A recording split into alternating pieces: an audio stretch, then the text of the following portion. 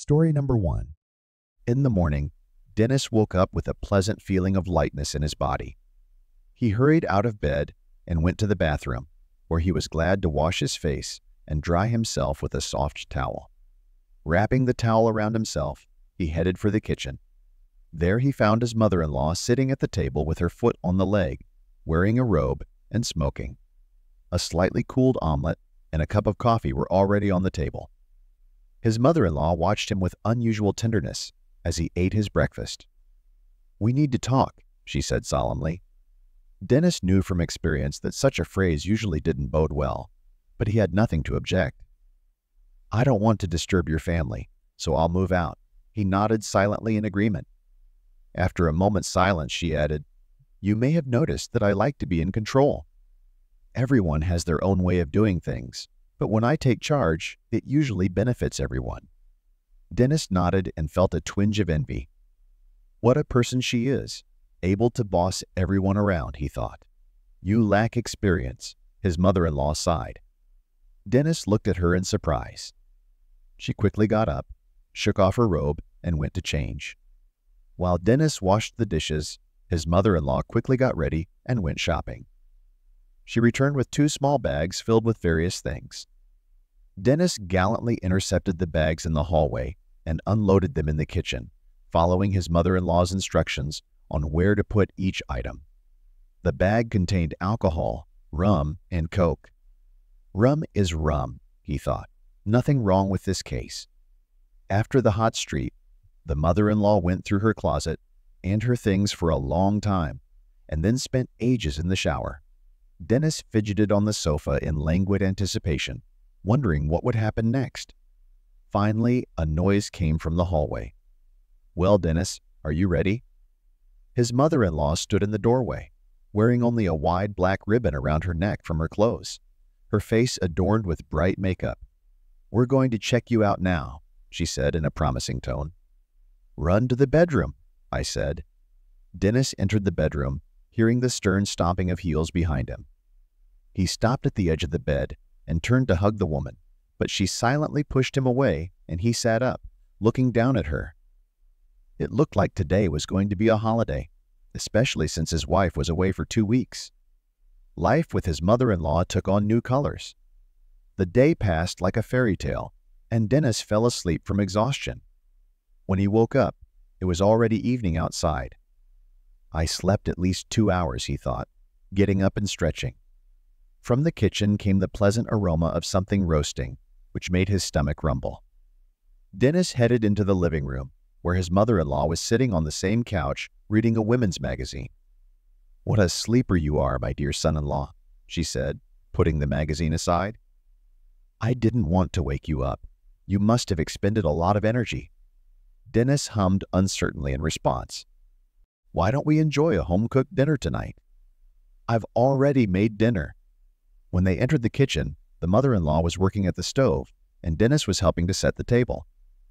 Soon two plates with fried potatoes, homemade cutlets, pickles, and other things appeared on the small kitchen table. Opening the refrigerator, the mother-in-law pulled a bottle of vodka out of the freezer, deciding it would go well with the appetizers. Dennis hesitated a bit looking at the bottle, but finally agreed. While he was setting the glasses down, the phone rang it was his wife calling from the beach. Answering the phone, Dennis assured her that everything was fine and they weren't fighting. After a brief conversation about the weather and their whereabouts, Dennis' wife mentioned that she had an opportunity to extend their vacation for another week at the beach. Dennis silently watched his mother-in-law, who was standing next to him, having overheard the entire conversation. Okay, stay, but be sure to call me often and be careful out there he instructed. Okay, take care, she replied, ending the conversation. Dennis tucked the phone away in his pocket, and his mother-in-law said, At least my daughter will be able to rest easy on the beach for a few more days. The mother-in-law suggested, Sit down, eat. Everything is already cold. They sat down at the table, and Dennis quickly poured cold vodka into shot glasses. Well, to my mother-in-law. He suggested, raising a shot glass for a toast. Oh, don't embarrass me, the mother-in-law smiled. though it was obvious she appreciated the kind words. They drank, snacked, and proceeded with the meal. The conversation revolved around their daughter, and the mother in law shared amusing anecdotes from their lives, causing bursts of laughter. Dennis felt a prick of guilt. He sipped from his shot glass and, snacking on a crisp pickle, asked, I wonder how you've managed to live so well all these years, considering she's not your biological daughter. Her mother in law furrowed her eyebrows and set her shot glass on the table. How did you find out about this? she asked. Dennis looked confused. Did that old fool tell you, or did she blab it to you herself? There was silence in the room as Dennis pondered his answer. His mother in law sighed and gestured for another shot glass to be brought. He filled both shots, and they drank in silence. I've always dreamed of having children, the mother in law confessed. I sought medical help, but nothing helped. But I have a friend who used to work in an orphanage. She's the one who got me through it. Dennis breathed heavily as his mother in law continued her explanation. She told me that my wife was adopted and had her name changed when she was just a little girl. She had been raised in a strict orphanage where mores were not at all what was commonly believed. It was better not to know the details. She spoke quietly about her past. Then, with a sigh, my mother in law mentioned that she had become interested in my philandering husband. I felt that trouble was brewing in my womanly heart, and my suspicions were confirmed when I caught them together one day. I scolded them severely, ensuring that they would remember it for life, or so I hoped. My mother in law shook her head, signaling that she had broken off their meetings. But as fate would have it, he became infatuated again with a new young girl who ended up getting pregnant by him. He left me and my adopted daughter, and tears came to my mother in law's eyes. She cried hard. Dennis, overcome with emotion, dropped his fork and knelt down next to his mother in law, hugging her tightly. For a while, they sat in silence, comforting each other. Well, life goes on, my mother in law said, wiping away her tears and gesturing for us to sit back down at the table. We haven't finished eating or drinking the whole bottle yet. Come on, let's sit down and continue. And later, I'll put on my stockings and give you exactly what you've wanted since this morning. Story number two. Our relationship is strong, and we communicate harmoniously with her parents. They are modest, diligent people with admirable qualities. We share household responsibilities. We try to help them as much as possible so as not to burden them. We are an ordinary young family. Recently, I have noticed that I am drawn to my mother in law. She is an attractive woman, 39 years old, with a well built figure. However, after seeing her pictures, I only pondered this as fantasy. I am well aware that any inappropriate act on my part could jeopardize our relationship, turn us into enemies for life. Nevertheless, one day I found myself unable to resist the temptation. It was a normal winter day when my mother in law and I had the day off, and my girlfriend and father in law were at work. I was sitting at my computer when I heard her voice from the kitchen. She asked me to go to the market and buy vegetables for a salad she was preparing. I quickly completed the task. When I returned home, I saw my mother in law mopping the floors. As she bent over, her ass caught my attention, igniting desire in me. However, I restrained myself and retired to my room to relieve the tension. This time, however, I decided to take action. I carefully put the bag of vegetables back in its place, then swiftly approached her from behind and gently took her buttocks. She let out a startled sigh, but not from discomfort, but from the surprise of my touch. My mother in law, breathing heavily, replied, I've been dreaming of you for a long time. I noticed a faint smile on her face as she continued, Why didn't you do it before? I didn't dare then. I don't dare now, but I can't hold back any longer. You were wise to take the initiative, my dear. Ever since Amy introduced us, I've been thinking about you. I assumed you weren't interested. Then she discarded the rag, turned to me, and kissed me like I'd never been kissed by anyone before. Let's not continue tonight. There will be plenty of time tomorrow. My husband will be home from work soon, so let's plan for tomorrow, okay? I agreed, feeling a little disappointed, and retired to my room to relieve myself. The next day, I looked forward to seeing what would happen next. It started as usual. I drove the girl to work, came home, and sat down at the computer.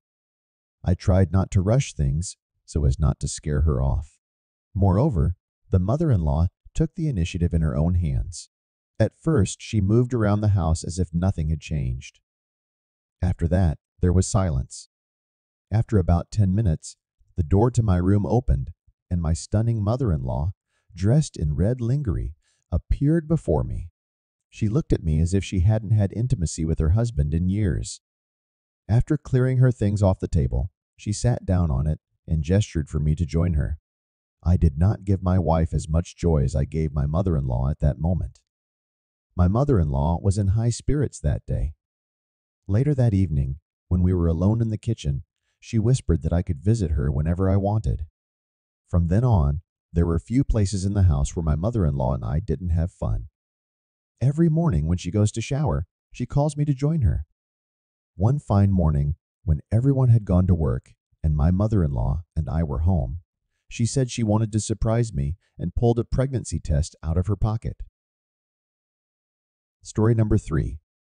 My adored mother in law always showed me great tenderness. She would pinch me lightly or hug me tightly, telling me how adorable I was and that she could not resist a man like me. However, when I told my wife about it, she doubted my words and accused me of making up the story. Despite my attempts to convince her otherwise, my wife Sarah simply laughed at my arguments. She teasingly remarked that, from my stories, I seemed to have a knack for talking to women and charming them easily. Michael, stop overthinking things, she said. My mom just complimented you as a wonderful son in law and gave you a warm family hug. My wife grinned mischievously and headed into the kitchen to prepare dinner. I stood there wondering if I had exaggerated the situation. After all, it seemed unlikely that my mother in law would openly harass me. However, given that she had been living alone for a long time, it was possible that she couldn't help but be attracted to an attractive man, seeking attention for herself. Regardless, my mother in law remained a very attractive woman. While I was pondering, my spouse Sarah had already prepared dinner and called me over. I refrained from talking further on the subject as my wife would not have believed me anyway. A few weeks later, my wife announced that she was going on a business trip abroad and would be away for about two weeks. To keep me company and keep me from getting bored, her mother, Anna, would be helping me. She will do the cooking and cleaning. Before I could say anything or object, my wife hurried out of the house with her suitcase. As she left, she shouted to me not to miss me. Two days had passed since my wife had left. While I was at work, my mother in law arrived, cooked a meal, fed the three parrots, who chattered enthusiastically, a skill she had passed on to them, and left, leaving me alone in a cold bed. When I returned home Friday night, however, I found my mother in law in the kitchen cooking something delicious. Hello, my handsome boy, she exclaimed loudly. Go take a shower, freshen up while I prepare the food. I thanked Anna and, feeling hungry, quickly headed for the shower. When I returned to the kitchen, my favorite hamburgers, fried potatoes, and seaweed salad were waiting for me. After I finished eating, my mother in law stood up and started massaging my shoulders, offering to give me a massage. Relax, son in law, she said. You work tirelessly from morning to night. You need to relax. My daughter is gone, and you're all alone. It must be boring. I was stunned by this turn of events but I didn't protest. I showered my mother in law with compliments on the delicious dinner and the fantastic massage. I was completely relaxed. I only came out of my relaxed state when my mother in law led me into the bedroom. And then it all started. Mother in law turned out to be cunning and patiently waited for an opportunity, and I was just grateful for her care. My wife was going on another week long business trip and every evening my mother in law took me from work. It was never boring. Finally, the day came when my wife returned from her business trip, and my mother in law and I, of course, went to meet her. Upon arrival, Sarah kissed me and then asked me if I had missed her. I smiled and replied that with a mother like hers, it was impossible to miss her. We laughed. And then my mother in law spoke up. Listen, my daughter, tomorrow I will take your husband away. I want him to accompany me to the beach so that I can sunbathe and swim in the warm sea. Okay, Mom, my wife replied. I would go with you too, but I have to work. At that moment, I felt relieved and happy to be going to the beach with my favorite mother in law. I love my wife dearly, but my mother in law is something else entirely. She attracts in a forbidden way, and the forbidden always beckons me. Sometimes thoughts come over me that this is all wrong, but my desires coupled with my mother in law being so available bring me back to reality. I don't want it to end. Her massages are heavenly, and of course you can imagine that she does a great job with other types of massages as well, not always using her hands. Story number four. Visiting my mother-in-law is always a delightful experience. The serene atmosphere created by the chirping birds, blooming flowers, and insects in the grass is truly indescribable. As I walk around the property, I can't help but notice my mother-in-law moving gracefully in her swimsuit. Eliana, as she is known, has a stunning physique, and the outfit she chooses perfectly complements her beauty. While her style of dressing may be unconventional, it certainly emphasizes her figure. However, I must admit that her presence can be distracting, preventing me from focusing on even the simplest of tasks. Nevertheless, watching her attempts to draw attention to herself is intriguing and amusing. Fortunately, I've found solace in wearing comfortable shorts that alleviate most of my concerns.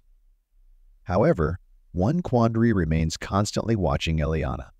While her swimsuit may not be as noticeable when I'm sitting under a tree, she persistently manages to get my attention. One day, she leaned against the fence and inquired about my brooding mood. I made a joke, explaining that her very presence prevented me from doing other things. We laughed, and she felt satisfied that teased her son-in-law, a frank swimsuit. Mother-in-law began to complain that there is no one to help at home to make repairs. Her husband, my father-in-law, is always somewhere on the road, then fishing, then with friends all day playing cards. But I think that the father-in-law has a young mistress, so with her he spends all his free time, and the mother-in-law deceives that fishing with friends goes away, in general is not when he does not do the house. As the mother-in-law said, all hope is in you, son-in-law. You will help me in everything. Eliana herself knows that her husband goes out, that he does not miss any girl he meets. Until the evening, the mother-in-law was tormented by the problem of her husband's absence and clearly decided to take some action. Several times, she started a conversation about her husband's infidelity, about his promiscuity towards women. I agreed, calling all men and my father-in-law in particular fools who only think how to cheat on his wife. And when in response to a call from my mother-in-law with a proposal to come to my wife's house, I again referred to the busyness. That's when Eliana decided to take revenge. Terrible revenge.